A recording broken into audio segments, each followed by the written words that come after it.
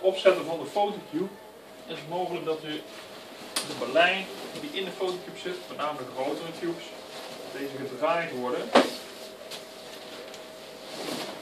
Waardoor die dus niet recht kan blijven staan.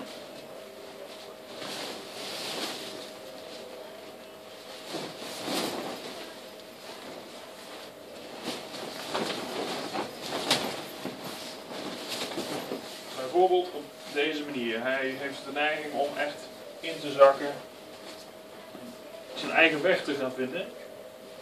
Belangrijk is dat in ieder geval nooit de boel forceert. Zodra hij forceert en er komt echt een knik in de berlijn, ja, dan is dat moeilijk weer uit, te krijgen, waardoor hij dus uh, echt scheef van komt te staan. Het enige beleid, je ziet dat drie zijden correct staan, één zijde wil nog invallen, hij wordt tegengehouden. Door een looping effect uh, tegen de draai in te creëren, wil ik de, de draai eruit halen, zoals nu. Nou, dit ging vrij eenvoudig. Dan wil ik het eigenlijk nog een keer laten zien, omdat het wat moeilijker is.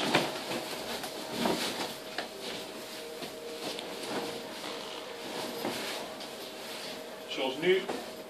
Hij zal niet wel blijven staan. Soms helpt het om een flink te schudden. Dan springt hij nog wel eens terug. Wil dat niet helpen, dan zal je moeten kijken van nou, waar begint de draai. Ik merk dat hij hier echt naar binnen wilt gaan draaien. Je draait de tegengestelde richting op. En dan moet hij eigenlijk vrij eenvoudig vanzelf terug schieten.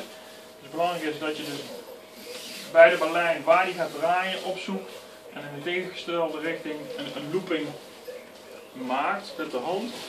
Nu doe ik hem eigenlijk, draai ik hem weer, waardoor hij dus niet kan blijven staan. Ik draai de andere kant op. En hij staat weer recht. Het belangrijke is dat u hem nooit forceert. Eh, dan kan er eigenlijk niks, uh, niks gebeuren.